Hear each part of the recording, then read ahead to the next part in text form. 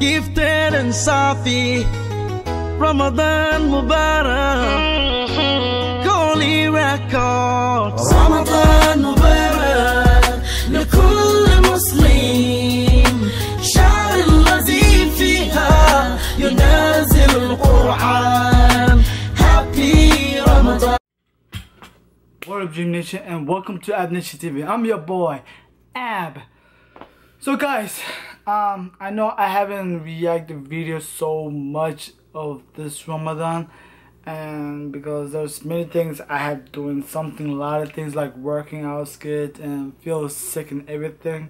So, what happened is I have been busy on Snapchat, just watching people's Snapchat and everything, and somehow I saw a lot of people talk about this, talk about her specifically, like, and they say it's very touching, very this and that, right?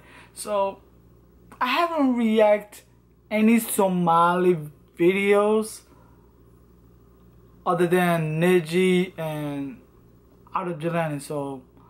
So she could be the uh, the first woman, the first Somali woman that I react her video. So, and I hope I hope she will like and approve if if she's watching, and yeah, I, I believe I have her Snapchat. I believe, but if this sound that maybe I could subscribe, I could subscribe.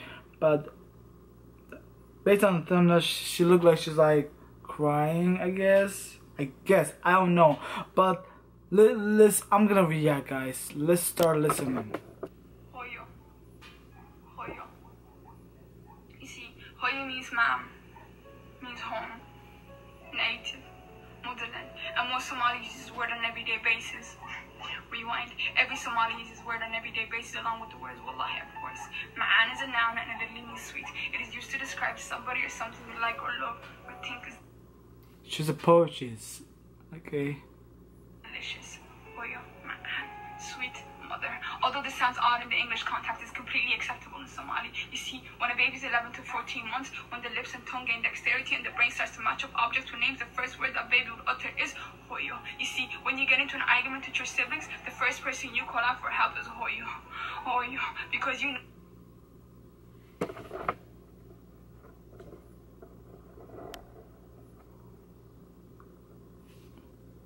She'll stop the world for you. You know she'll come running down those 14 steps as if you were getting kidnapped. Is Hooyo here? Is the first sentence that leaves your mouth as you enter your house. Not because you need her, not because you want something off her, but that it brings security and coolness to your heart or a chance for you to Man. before she sees you and says, Hey, look at Hakibaku Sabata. Where you headed this hour? Hour. Hour. Hour true. You have been to my friends so many times. Time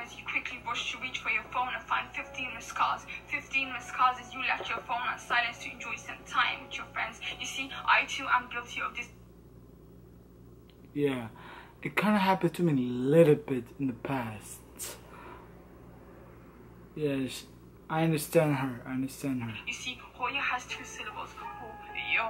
H stands for hope, honest, human, honor, heavenly, and hero. O stands for optimistic, open, original, obedient. Oh my god, oh my god, Hooyo, why are you doing this to me? Okay, okay, because mother knows best. Okay, because you have no choice when you live under mother's roof but to say okay. That's okay, true. Why? Young, yearn, young, youthful.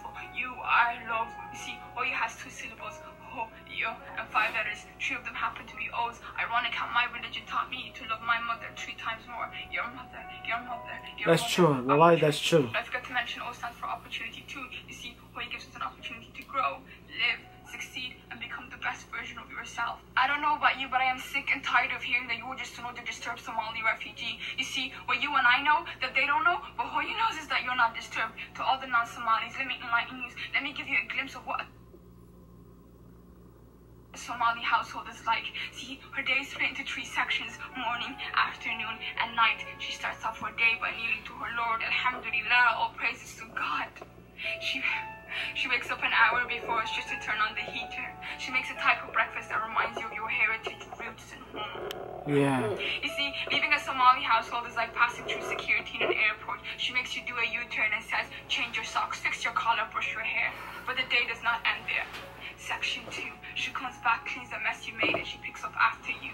When you get back, she does not let you eat till you change and do your homework to its peak, and then you get to True, eat. She then takes you to your maths, French, or football lessons. But this time, you never came back. Section 3, she waits. She waits and waits. Call after call after call. Number you are trying to call cannot be reached at this moment. Please leave a message after the beep. Please. Doesn't happen to me, Tired. She's so tired. but I understand. When you come back, she gives you that death stare. Every Somali knows the words that come after this death stare. Hotel ba mudi marka xilliga doonti soo gelisid. Translation: Do you think this is a hotel that you can come in whenever you want to?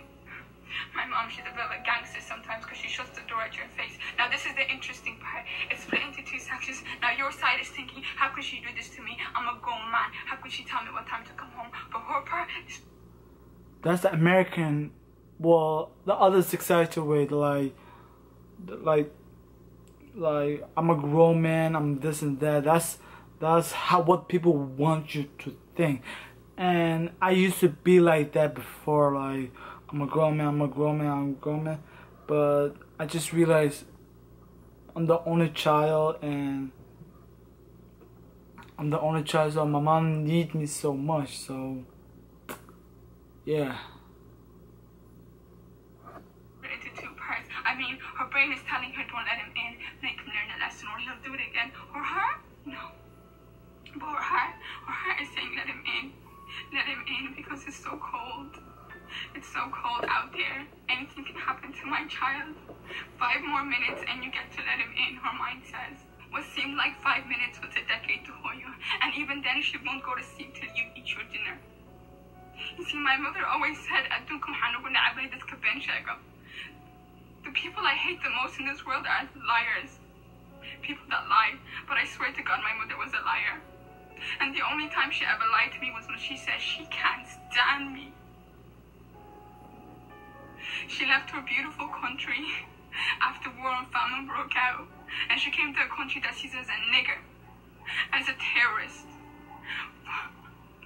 to give you chance and a to give you chance and an opportunity to succeed in life. And you paid her back by what? By dropping out of school, by joining gangs, by getting into drugs. You think you earn respect in the street? You think people actually respect you? People are forever gonna see you as a disturbed Somali refugee. Wallahi, I swear by Allah, no one will ever love you as much as your mom.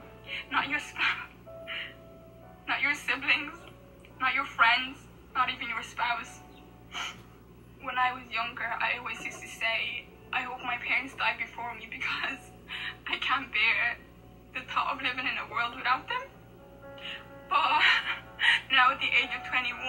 realize that I hope I, my parents die before me. And I'm not saying this out of anger and hate. Just so I can pray for them when they go. Because who else is going to pray for them when they go?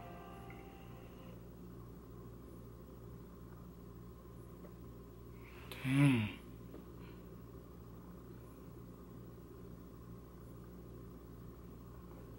This is really touching. Like sometimes, sometimes things I react a video like this is entertaining. I'm laughing and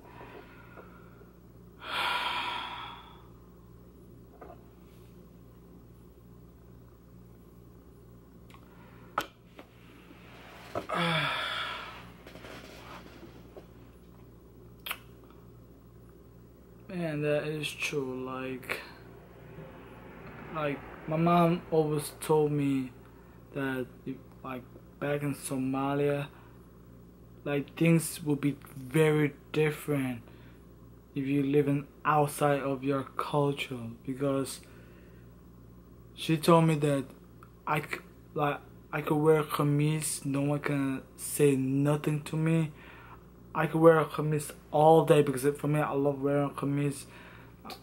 And obviously, like not only me, but a lot of guys love wearing kameez. I, I believe that, but but when you live in the other side of the world, if the, the other side of the country, they will look at you as as a label. They will look at you as a label and with those stereotypes and yeah.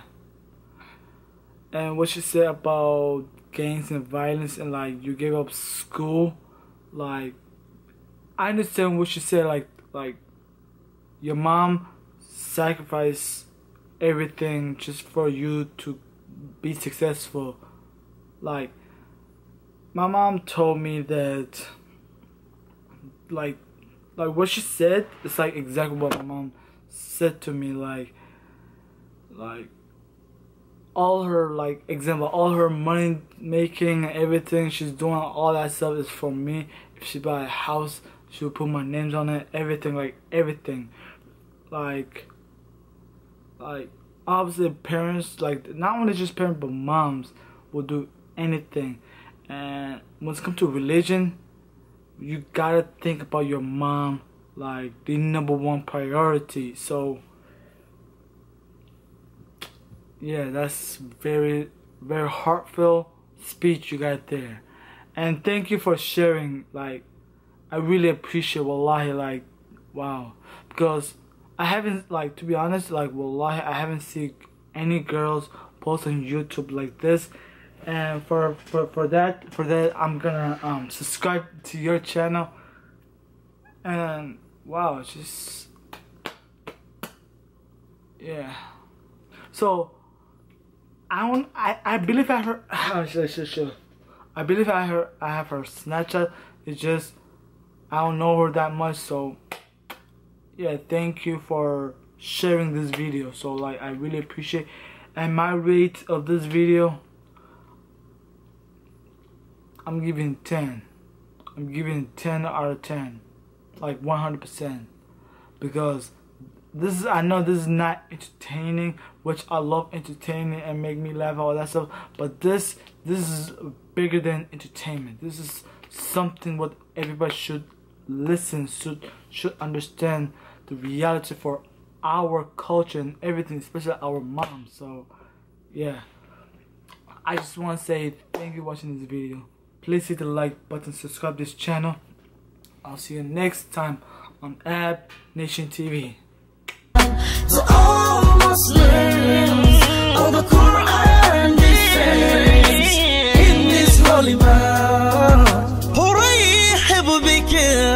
يا شهرة رحمة وريح بك.